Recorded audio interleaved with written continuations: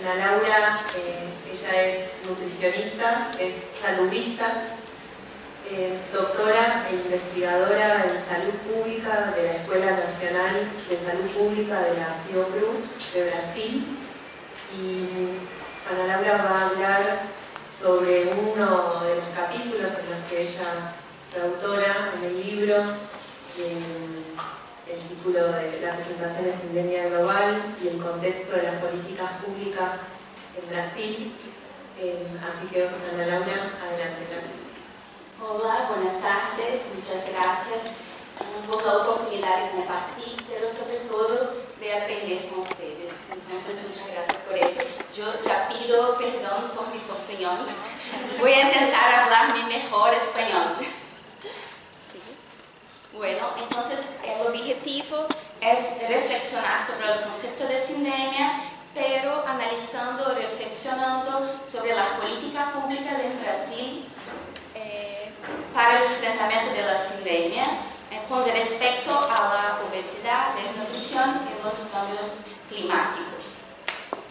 Bueno, ya fue, ya fue hablado acá en el otro panel sobre el contexto eh, de sindemia global que ha sido publicado por, el, por un, grupo, equipo de investigadores asociados al The Lancet que ha, no, bueno, a respecto de la sinergia de, eh, de las pandemias que coexisten en el mismo espacio y tiempo con efectos ampliados uh, sobre los niveles de salud de la población, desde los pero también de los efectos sociales.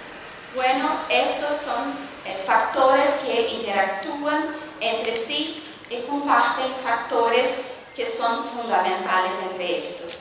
Esto, entonces estamos hablando de la desnutrición, obesidad y cambios climáticos, pero otros elementos que nosotros, por ejemplo, en el libro consideramos también la pandemia de COVID-19. Entonces, una pregunta, ¿cómo surgen las sindemias?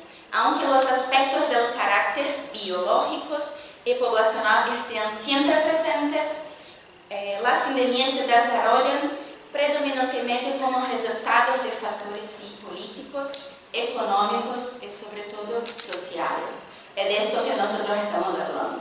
Entonces, que afectan las condiciones de vida de las personas, pero también las someten a privaciones materiales y nutricionales, desencadenan situaciones de violencias estrés y también uh, claro, a grupos, eh, lamentablemente, si esto afecta a las personas de manera desproporcionadamente diferente. Entonces ya hablé que nosotros utilizamos estos conceptos a lo largo de todo el libro que tiene la que habla sobre la situación de la emergencia climática, la inseguridad alimentaria en nueve países voy a, yo voy a hablar específicamente un poquito del Brasil. Bueno, eso es que nosotros escuchamos eh, durante el gobierno de Bolsonaro. Entonces, eso es para no olvidar que no, no estamos en el mismo barco. No. Entonces, ¿cómo hacer frente la pandemia global? Es un largo camino por percorrer. E eu vou trazer alguns exemplos do que nós brasileiros estamos desenvolvendo allá. Bueno, entonces todas las políticas públicas tienen que ver con un contexto, con un escenario que yo creo que no es muy diferente, como ya fue hablado acá, el escenario alimentario, nutricional y epidemiológico, que son de una inseguridad alimentaria creciente, obesidad creciente, eh, la enfermedades crónicas no transmisibles también, desnutrición y deficiencias de micronutrientes. Para esto, la necesidad de fortalecer las políticas públicas de salud, las políticas públicas estructurantes, que há cambios de gobierno, pero las políticas continúan. Entonces, para eso nosotros necesitamos de políticas de salud, pero también de políticas intersectoriales. abordar los determinantes de salud. Entonces, yo voy a hablar de un ejemplo que es del Programa Nacional de Alimentación Escolar, que es uno de, los más antiguos de Brasil, eh, que sigue los lineamientos de la educación alimentar, alimentaria y nutricional de la Universidad de la Atención de la Participación Social, porque nosotros tenemos los consejos de alimentación escolar con la participación de la sociedad civil y de la seguridad alimentaria y nutricional. Eh, todo en Brasil es gigantesco, entonces nosotros estamos hablando de un programa que tiene al alcance alrededor de 40 millones de niños el país. Todos que son de la red de educación básica tienen el derecho al programa de alimentación escolar.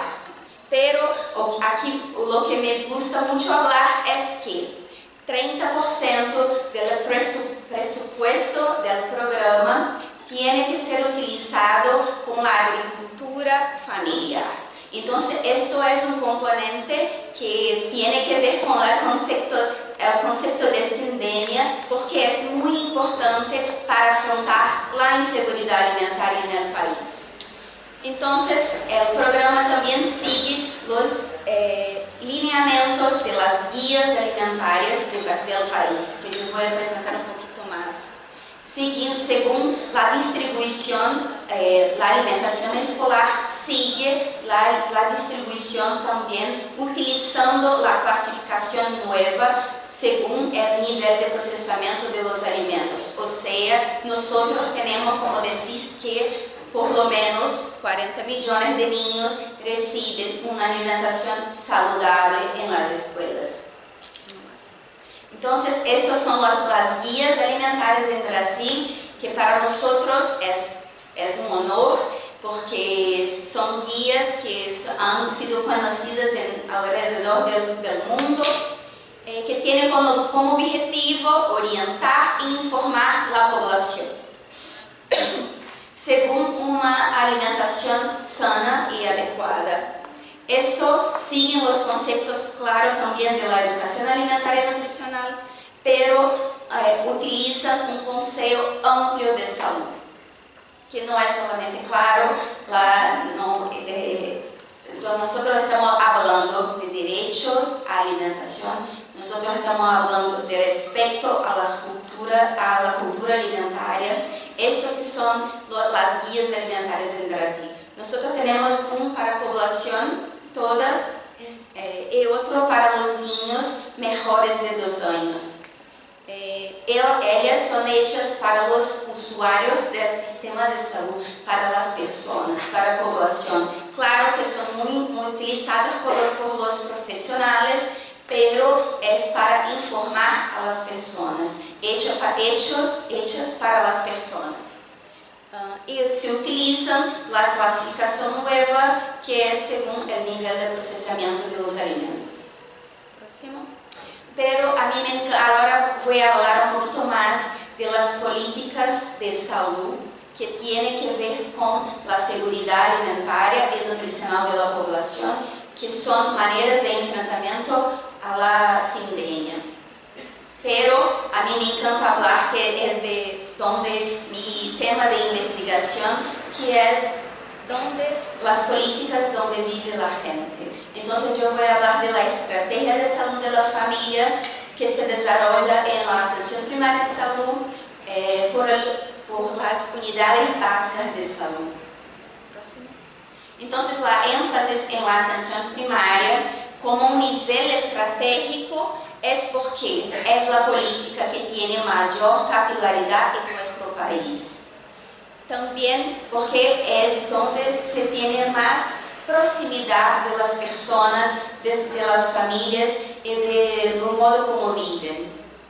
Entonces, creemos que en esos espacios son estratégicos para el desarrollo de las políticas de salud que consideran sobre todo cómo las personas viven. Esto no es poca cosa. No más.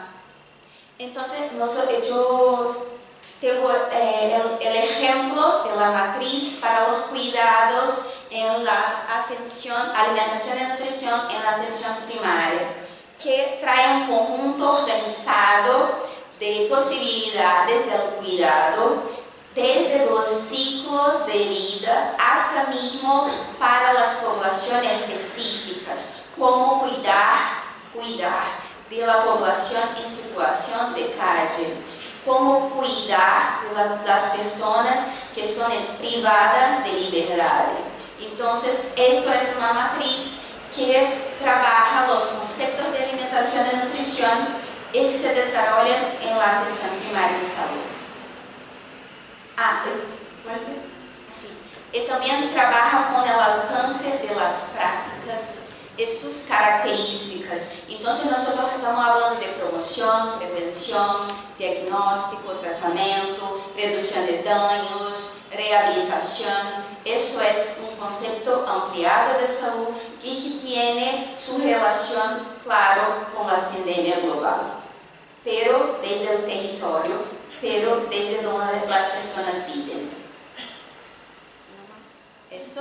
Outro ponto uh, que, que, claro, está bajo o conceito de sindemia, que é a obesidade. Então, nós já percebimos que tudo que nós estamos fazendo e que não está funcionando é porque há alguma coisa que não. Então, é necessário abordar a obesidade por um, por um contexto muito mais amplo. Então, é, é fundamental repensar radicalmente, como já falamos em outro painel, a forma em que comemos, a forma que vivimos e consumimos e nos movemos. E, claro, isto é importante para países como o Brasil, eu creio que para a maioria dos países da América Latina, que eh, os países devem ser protegidos pelas práticas de explotação e predatórias por parte das empresas de alimentos e bebidas. Sem isto, fica muito difícil fazer qualquer discussão. Então, por que estamos falando de isso? Porque em Brasil, a obesidade, como já foi apresentado, eu creio que quase a mesma eh, eh, porcentagem que 60,3% das pessoas estão com excesso de peso e 26% da população com obesidade. Pero o que nós temos que ter em conta em la elaboração das políticas é que a luta é contra a obesidade ou contra a pessoa com obesidade. Esta ênfase que nós trabalhamos em las políticas em Brasil esta é a diferença. Não é para criminalizar o sujeito, a persona. a vezes me olvido la palavra, las personas, pero nosotros tenemos que hablar del cuidado. Por isso que eu abri, hablé de la matriz, porque em seu nome já está matriz para o cuidado. Uma mais. Então, nós estamos trabalhando desde, claro, da abordagem individual, como também abordagem coletiva. E para isso, o Ministério de Saúde ha desenvolvido muitos materiais para apoiar o trabalho de los profissionais, pero com esta concepção ampliada de saúde, pero com esta concepção de respeito às pessoas.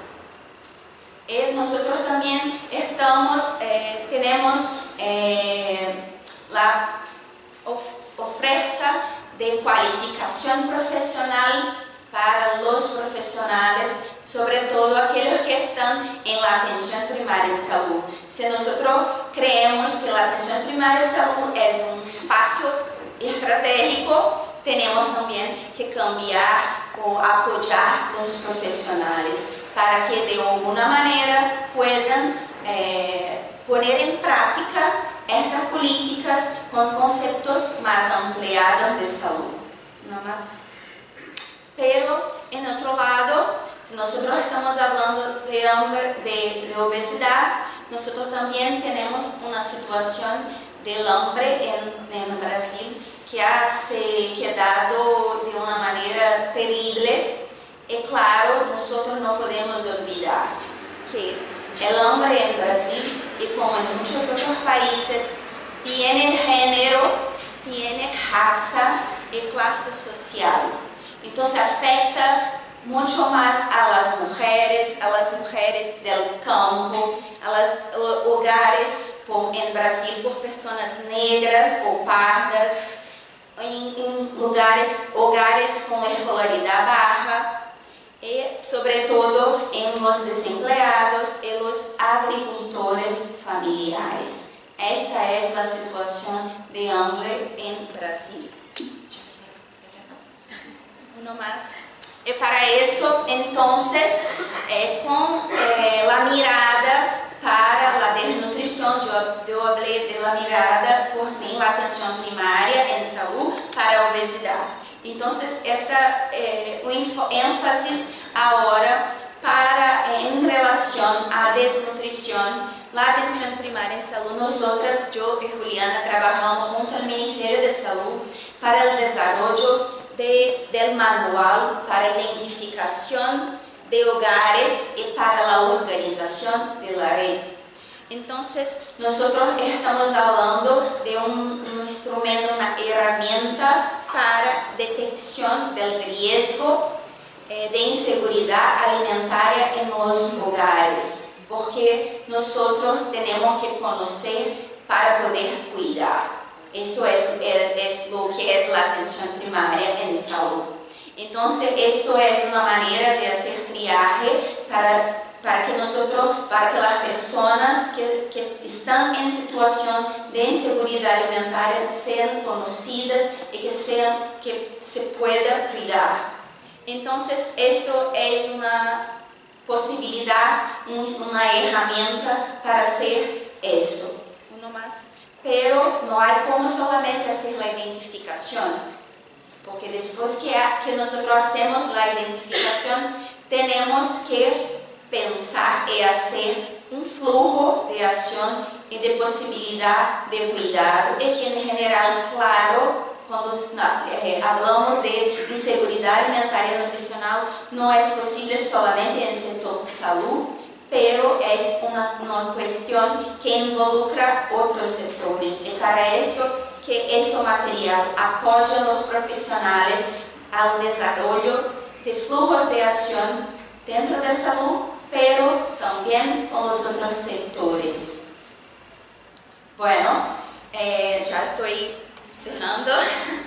Para enfrentar la pandemia global, nosotros necesitamos un esfuerzo integrado. Yo creo que es casi un llamado para los gobiernos na perspectiva de políticas públicas estruturantes, porque nós queremos são políticas públicas estruturantes que não se, não se cerra quando cambia o governo, porque nós estamos falando como em Brasil são direitos, não é favor, não é, são direitos derecho a la salud, derecho a la alimentación, derecho a una vida digna. Por eso estoy llamado para enfoques claros, también inclusivos, que consideren la múltiple carga, la, las múltiples causas y dimensiones de la enfermedad.